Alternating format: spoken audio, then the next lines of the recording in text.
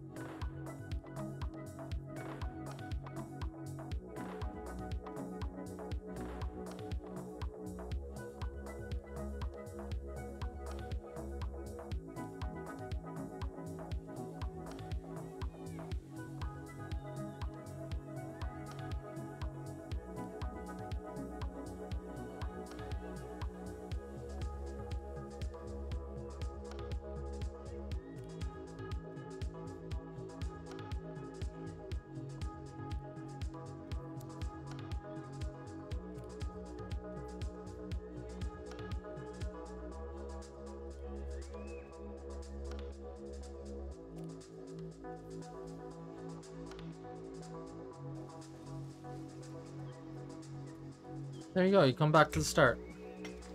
Which you can just repeat it again.